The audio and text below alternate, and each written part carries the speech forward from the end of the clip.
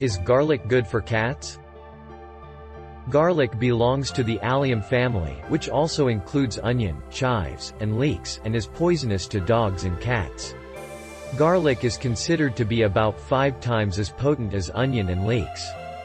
Toxic doses of garlic can cause damage to the red blood cells, making them more likely to rupture, leading to anemia.